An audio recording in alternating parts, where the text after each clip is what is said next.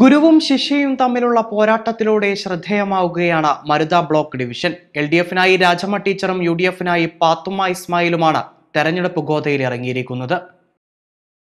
Nilambur block പഞ്ചായത്തിലെ ഒന്നാം ഡിവിഷനാണ് മരുത. നിലവിൽ എൽ ഡി എഫിന്റെ കയ്യിലിരുന്ന ബ്ലോക്ക് ഡിവിഷൻ നിലനിർത്താൻ എൽ ഡി എഫും തിരിച്ചുപിടിക്കാൻ യു ഡി എഫും കടുത്ത പോരാട്ടമാണ് ഇവിടെ ആരംഭിച്ചിരിക്കുന്നത്. മരുത ഗവൺമെന്റ് സ്കൂളിലെ മുപ്പത് വർഷത്തെ സേവനത്തിന് ശേഷം തെരഞ്ഞെടുപ്പ് രംഗത്തേക്ക് ഇറങ്ങുമ്പോൾ ഒരു പരിചയപ്പെടുത്തലിന്റെ ആവശ്യമില്ലെന്നതാണ് രാജമ്മ ടീച്ചർക്ക് തുണ. വീട്ടമ്മയായ പാത്തുമ്മക്കും ഇത് കന്യംഗമാണ് കഴിഞ്ഞ തവണത്തെ ഭരണപരാജയങ്ങൾ ചൂണ്ടിക്കാട്ടിയാണ് ഇവർ വോട്ടർമാരെ സമീപിക്കുന്നത്. തെരഞ്ഞെടുക്കപ്പെട്ടാൽ ജനങ്ങൾക്കൊപ്പം നിന്ന് അവരുടെ ആവശ്യങ്ങൾ നിറവേറ്റുന്നതിനാണ് മുൻതൂക്കം നൽകുകയെന്ന് ഇരുവരും പറയുന്നു. ഞാൻ ഈ മരുത സ്കൂളിൽ വന്നിട്ട് മുപ്പത് വർഷമായി.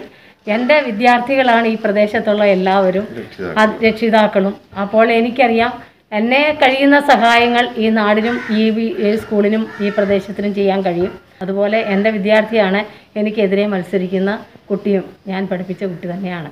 മരുന്ന് ഡിവിഷനിലും യു ഡി എഫിന്റെ ഐക്യജനാധിപത്യ മുന്നണി സ്ഥാനാർത്ഥിയായിട്ട് കോണിച്ചിഹ്നത്തിൽ മത്സരിക്കുന്ന ഞാൻ.